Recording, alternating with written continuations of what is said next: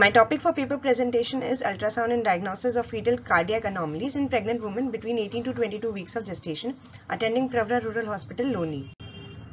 Congenital heart disease with a prevalence of 5 to 9 per thousand live births is the commonest of the severe congenital anomalies. There are various risk factors to this. Cardiac anomalies are major diseases that are most frequently missed on prenatal ultrasound examinations, which is a reason for concern because undetected congenital heart anomalies increases the risk of early neonatal mortality. The aim of the paper is to find out and study various various fetal cardiac anomalies in pregnant women referred to Pravara Rural Hospital Loni between 18 to 22 weeks of gestation by ultrasound. The objective was to find out types of fetal congenital heart diseases in the study population and to describe the ultrasound findings in the diagnosed cases and to find out the most common fetal congenital heart disease and to find out the proportion of fetuses with congenital heart diseases. It is a descriptive study design which will include a total of 3,600 pregnant women in 18 to 22 weeks of gestation. Patients who meet the eligibility criteria will undergo the prenatal ultrasound screening to look for congenital anomalies and to review important features to improve the diagnosis of CHD by applying ultrasound. It was performed on Toshiba Xario 100 Philips Affiniti 70G ultrasonography machines with an inbuilt M mode 2D and color Doppler it was the study sample is 3600 cases and it was done for two years.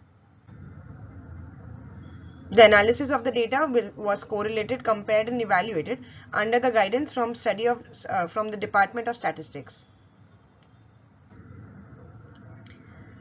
Coming to my observations and results uh, a total of 3,600 pregnant women were included in the study, out of which 51 cases of fetal CHDs were detected based on abnormal fetal cardiac scan. The incidence of prenatally diagnosed CHD in our study was 14.2 per thousand fetuses. This is a, a, table of proportion of patients with single and multiple cardiac abnormalities. Out of the 51 patients with fetal CHDs, 39 patients had single cardiac abnormality and 12 patients had complex, that is more than one cardiac abnormality.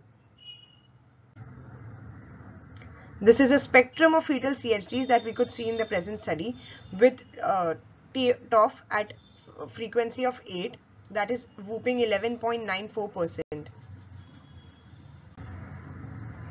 We came across a wide spectrum of fetal CHDs namely tetralogy of Fallot, AVSD, hypoplastic left heart syndrome, persistent left superior vena cava, pulmonary stenosis, double outlet right ventricle, pulmonary atresia with intact ventricular septum, common arterial trunk, transposition of great arteries, isolated ventricular septal defect, and a few more. This is a spectrum and percentages of these in our present study. We also saw the association of CHDs with extracardiac anomalies.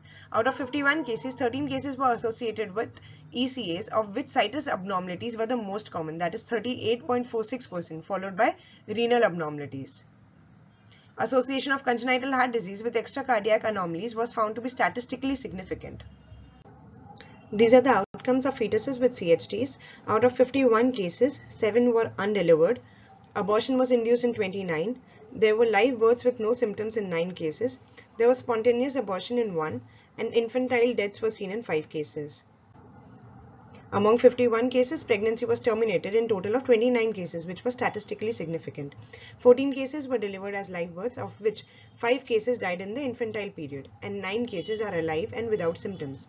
Out of the 14 live births, the 9 cases which are alive are 4 cases of persistent left superior vena cava, two cases of aberrant right subclavian artery, one case of TOF, one case of aortic coarctation, one case of muscular VSD.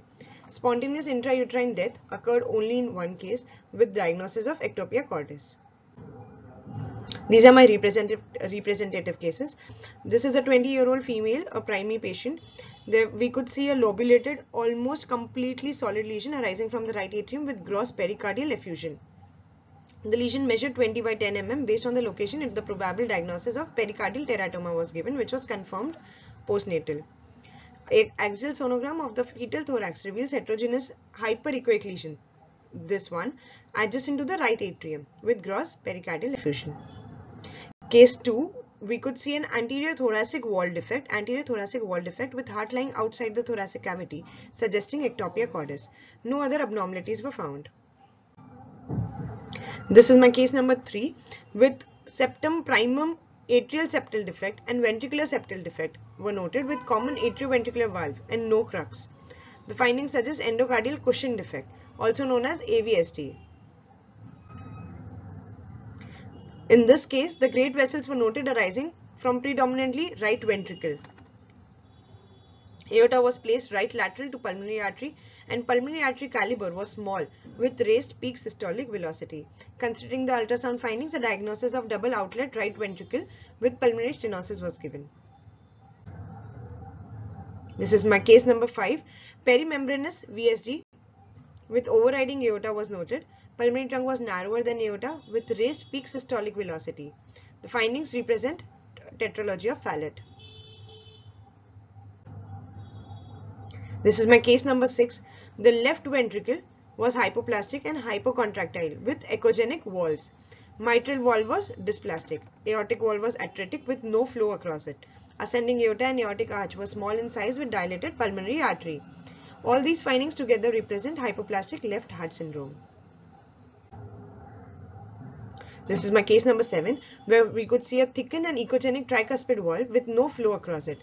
Perimembranous ventricular septal defect was also noted. Antegrade flow was noted in both ductal arches and pulmonary arteries. Mitral flow was increased, however, no mitral regurgitation was noted. The constellation of findings suggested tricuspid atresia with ventricular septal defect. This is my case number 8 where we could see the enlargement of right atrium with tricuspid valve leaflet attached to the interventricular septum. Tricuspid valve was dysplastic and there was associated pulmonary stenosis. The findings suggested Ebstein anomaly. Fetal heart is a difficult organ to examine on ultrasound. In our study, the positive rate of mid-trimester anomaly scan was 14.2 per thousand fetuses. The positive rate of CHD ultrasound screening was 14.6 per thousand fetuses in a previous study. The frequency of various abnormalities is slightly different from the reported by previous studies since almost half of the study period was affected by COVID-19 pandemic. Moreover, our, hospital is a tertiary referral center for prenatal diagnosis and termination. Considering these factors, most cases referred here are complex cardiac anomalies and not minor CHDs. Fetal CHD includes a wide range of anomalies with a varying degrees of, severity, many a times associated with extracardiac malformations, which may occur as a part of certain syndromes. Cases of fetal CHD should be rigorously evaluated to exclude extracardiac abnormalities. These are the list of extracardiac anomalies that we see, saw, which was situs ambiguus, heterotaxia syndrome, multicystic dysplastic kidney, single umbilical artery, polycystic kidneys, situs inversus, semilobar holoprosencephaly, Dandy-Walker malformation, renal agenesis. Coming to the conclusion, Ultrasound is useful in diagnosis of fetal congenital heart disease in the routine mid-trimester anomaly scan. The incorporation of multiple cardiac views into the mid-trimester ultrasound, scan may improve the sensitivity as well as accuracy of, fet of diagnosis of fetal CHDs, which would provide parents with more information and facilitate appropriate prenatal counseling and decision making.